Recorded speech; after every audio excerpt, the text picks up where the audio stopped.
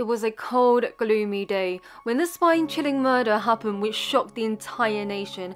No one would have thought two 10 years old could have committed such a brutal and gruesome crime. The pair walked into a shopping centre in Merseyside, England, and kidnapped a two years old boy before smashing his skull with an iron rod and draped his body across the railroad tracks only for it to be severed. Let's unfold the case of Robert Thompson and Jon Venables.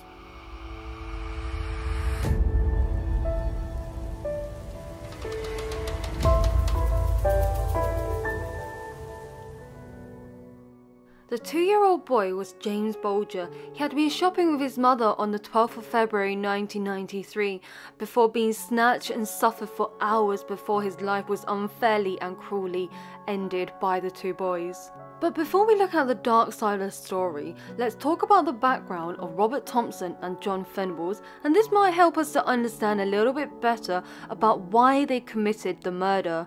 Were they too abused when they were younger, so felt the need to torture and kill other people as a means to release their built up anger, or were there other reasons behind this? Robert Thompson was born on the 23rd of August in 1982. His father was an aggressive alcoholic who left the family when Robert was just 6 years old.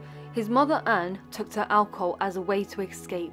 Life was not easy for the Thompsons, and eventually Robert would rob as a way to survive. On the other hand, we have Jon, who was born on the 13th of August 1982.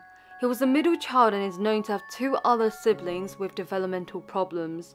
Jon was also a victim of bullying because of the squint in his eyes. The two boys met each other at school and were known to terrorize the school playground. Shortly after their friendship began, they started bullying others. They would make sure the children they targeted were very weak, and the pair frequently skipped school and robbed from local shops and shopping centres. On the 12th of February 1993, Robert and Jon travelled to the New Strand shopping centre in Merseyside. The boys skipped school to travel to a centre where they stole sweets and other items such as a can of blue paint. Little James was with his mother Denise, 25 years old. Denise at around 3.40 went into the butcher's shop, taking less than one minute to order her meat and then returned to where she had left James. When she returned, she soon realised that James was nowhere to be seen. She quickly ran for the security staff and gave them a description of what James was wearing. The security quickly searched the area, however, they couldn't find James, so immediately called the police.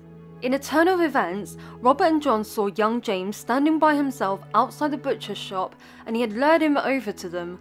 After a small talk, the boys then took James's hand, walking out towards the exit at 3:42 p.m. as this was captured on CCTV. Walking for around 2.5 miles with James, their first destination was the canal where they were physically abusing him by picking him up, then dropping his head onto the floor, resulting in a bruised forehead. They then thought about pushing James into the canal but was quick to change their mind. 38 people witnessed the three, however, none of them intervened enough to separate James away from Robert and Jon. Even though James was clearly in distress, crying his eyes out, eventually two people did challenge the boys about James. The boys said they were heading to the police station because they found James alone. They believed the boys and walked off.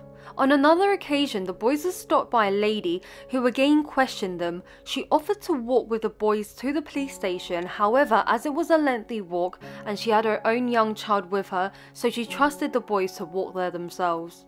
Eventually, it was getting dark. The boys needed to decide what to do with James, as more and more people were questioning them. They had no intention of taking James to the police station and instead walked towards the train tracks where they would end James's life. When they arrived, one of the boys threw the stolen blue paint at James's face. They then continued to inflict injury on James before smashing his head with an iron bar. They then tripped him naked and left his body on the railroad tracks and weighted his head down with rubble for the train to hit. They said this was done to make James's death look like an accident.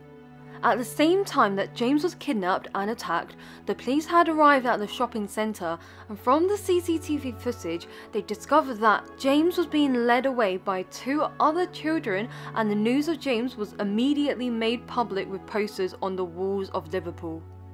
Two days after the incident, on Sunday the 14th February, a young boy had been playing on the tracks when he noticed what he thought was a dead animal, but as he got closer, he realised it was a child. He was in shock and quickly ran home to tell his parents, who subsequently called the police. After a few days, CCTV was made public in the hope someone would come forward with information.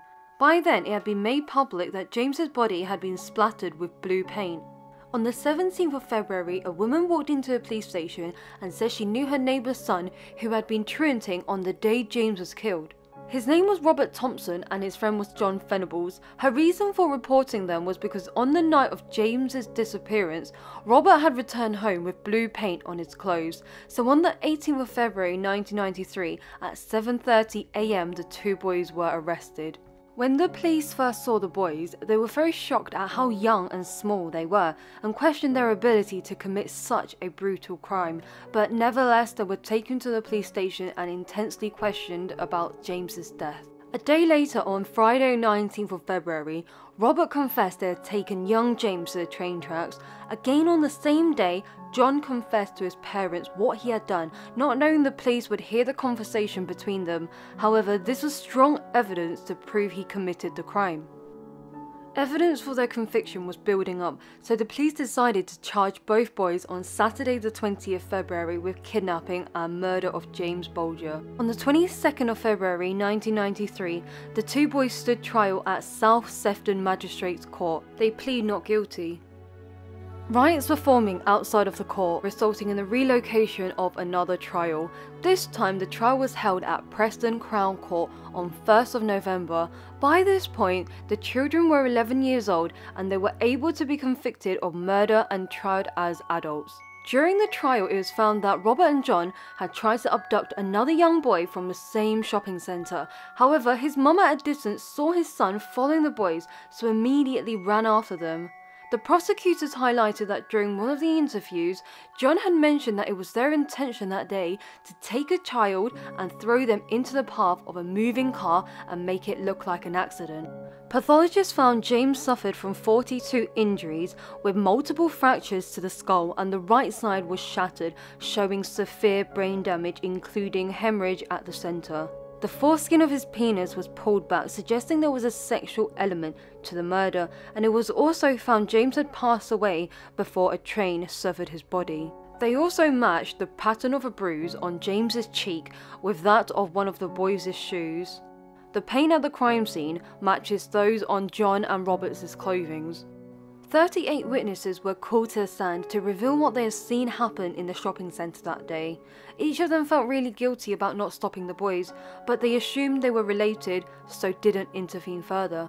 On 24th of November 1993, in just six hours, the juries found Robert Thompson and Jon Venables guilty. They believed the boys were able to distinguish between right and wrong and they were both sentenced to a minimum of eight years. The two boys were sent to different youth offenders institution. It was around this time that the recommended minimum sentence for the two was raised from 8 years to 10 years. Then in July 1994 it was raised once more to 15 years. In 1999, both of the boys' lawyer appealed to the European Court of Human Rights that the trial had not been impartial.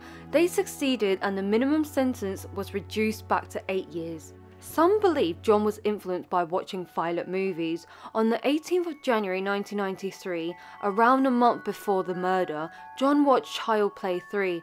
During the film, the doll was killed at the fun fair during a train ride, with the doll being dismembered and had blue paint on their face, which was similar to how James died. On 22nd of June 2001, they were released and to protect their identity, both were given new identities and moved to different parts of the country for their safety. The pair were freed on January 2001. Robert Thompson has not re-offended since being released and in 2010 it was reported he was in a long-term relationship with a man who knows his true identity.